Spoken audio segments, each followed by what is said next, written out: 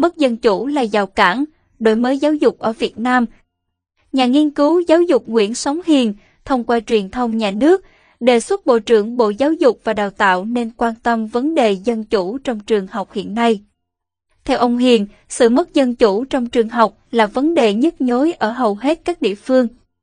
Các hiệu trưởng lạm quyền, thích chứng tỏ quyền uy và thích quản lý theo mệnh lệnh. Đó là rào cản cho việc đổi mới giáo dục.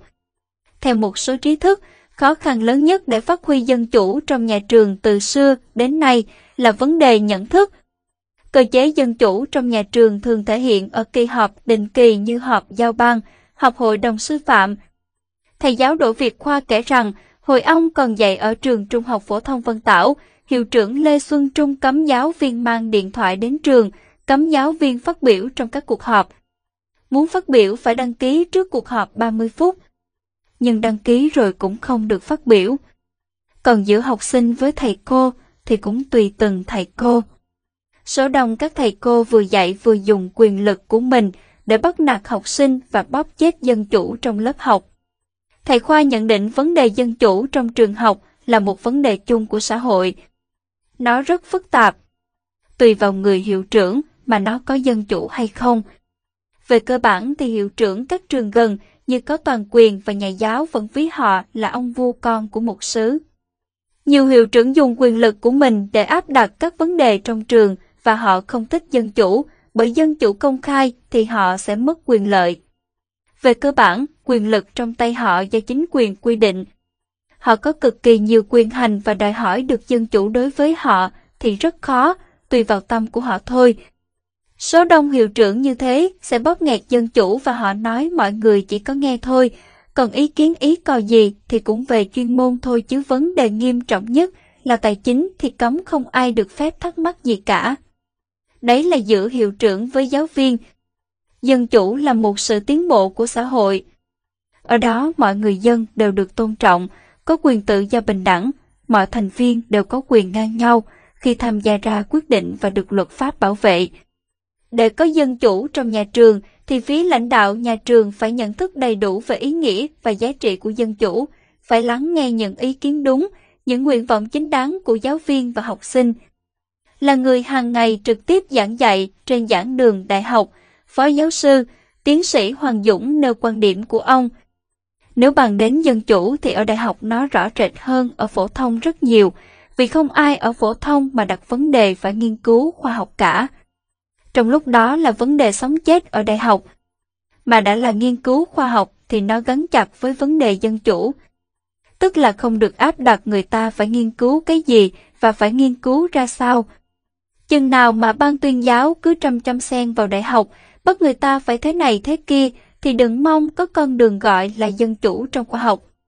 Người ta trông chờ khoa học xã hội là ngọn đuốc soi đường, làm sao giúp cho những người lãnh đạo đất nước họ thấy đâu là đáng làm và đâu là không đáng làm. Bây giờ họ biến khoa học xã hội thành tên nô bộc ngợi ca theo ý chủ.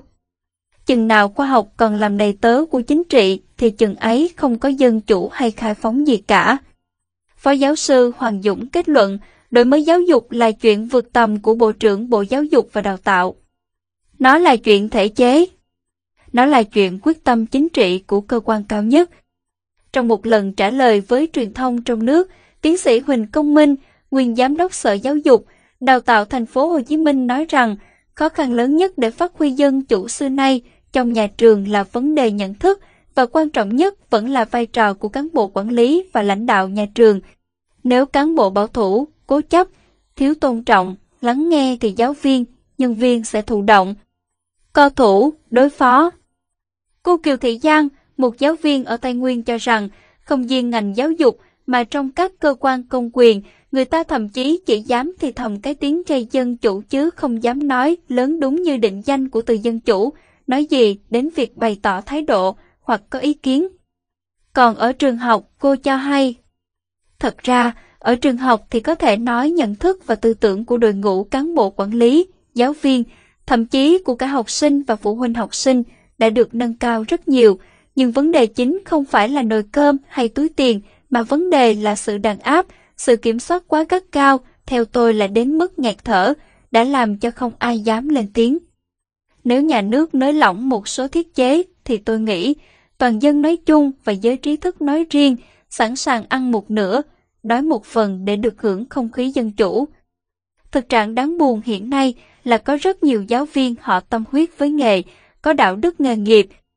Họ có nhiệt huyết để giáo dục học sinh về kiến thức cũng như tư tưởng tiến bộ. Bên cạnh đó lại cũng có rất nhiều những trí thức sẵn sàng làm tay sai. Họ để ý, theo dõi những giáo viên khác nên có trường hợp có những giáo viên xuống học sinh ghi âm lại những bài giảng của thầy cô có tư tưởng tiến bộ. Hoặc họ kích động giữa những học sinh có tư tưởng khác nhau, làm các em xung đột lẫn nhau. Chính vì vậy, không có sự liên kết giữa những thầy cô cấp tiến và các học sinh. Làm sao để có dân chủ trong trường học?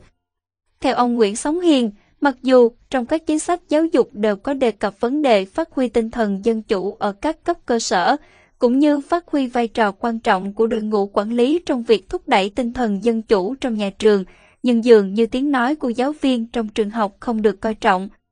Lý do có thể vì sợ ảnh hưởng đến công việc, hoặc có thể do sự áp chế của ban giám hiệu khiến giáo viên chấp nhận ngậm đắng nuốt cay trước thực trạng bất công ngay trong trường của mình. Qua những bất công mà một số giáo viên phải chịu đựng, dường như giáo viên thiếu một tổ chức đứng về phía họ để bảo vệ họ, cho họ có quyền nói lên những mong muốn chính đáng của mình dù trong trường luôn có tổ chức công đoàn, công đoàn đại diện cho người lao động, chăm lo và bảo vệ quyền, lợi ích hợp pháp, chính đáng của người lao động. Là một người từng bị trù dập do tố cáo sai phạm trong trường, thầy giáo Đỗ Việt Khoa nói về tổ chức công đoàn. Giáo viên chúng tôi vẫn thường ví văn công đoàn và hội phụ huynh cũng như kế toán giống như cánh tay nối dài của hiệu trưởng. Họ chi phối tất cả mọi thứ và không ai có quyền thắc mắc gì cả. Cô giáo Kiều Thị Giang nêu quan điểm của mình. Tôi thì hoàn toàn thông cảm với tổ chức công đoàn, thông cảm với ngành giáo dục vì ngành nào, tổ chức nào nằm trong thể chế nhà nước hiện nay, dưới sự kiểm soát cất cao về tư tưởng thì đều xảy ra tình trạng như thế. Giáo dục có vai trò quan trọng cho sự phát triển đất nước. Trong đó, đại học là trí tuệ của đất nước, là nơi sinh dưỡng hiền tài, nếu không có dân chủ thì sẽ không có đổi mới trong giáo dục. Vậy trong tương lai, giáo dục Việt Nam sẽ đổi mới ra sao? Phó giáo sư Hoàng Dũng cho hay. Sẽ không có thay đổi gì đâu vì mới đây, ông Tổng bí thư Nguyễn Phú Trọng viết một bài về chủ nghĩa xã hội mà vẫn còn nói chỉ có chủ nghĩa xã hội, chủ nghĩa cộng sản mới có độc lập dân tộc, mới làm cho các dân tộc hạnh phúc. Đọc xong mà ngán ngẩm. Không khác gì cách đây 50 năm. Mới năm ngoái, ông Võ Văn Thưởng làm việc với Viện Hàn Lâm Khoa học Xã hội vẫn cho chỉ thị là nghiên cứu thế nào để chứng minh sự đúng đắn của chủ nghĩa Mác Lê. Một khi những người cao cấp nhất mà nói như vậy thì làm sao các nhà nghiên cứu ở các cơ sở đại học, tức là những tinh hoa của dân tộc, đủ can đảm để nghiên cứu thật hiệu quả, đúng theo suy nghĩ của họ. Ông nhắc lại một câu nổi tiếng của thân nhân chung, khắc trên tấm bia tiến sĩ đầu tiên của văn miếu quốc tử giám hiền tài, là nguyên khí của quốc gia, nguyên khí thịnh thì thế nước mạnh mà hưng thịnh, nguyên khí suy thì thế nước yếu mà thấp hèn. Quý vị và các bạn vừa theo dõi bản tin Mất dân chủ là giàu cản đổi mới giáo dục ở Việt Nam của tác giả Diễm Thi do biên tập viên Thu Phương Thời báo chấm DI trình bày. Chào tạm biệt quý vị và hẹn gặp lại các bạn trong bản tin lần tới. Thu Phương từ Berlin, Cộng hòa Liên bang Đức.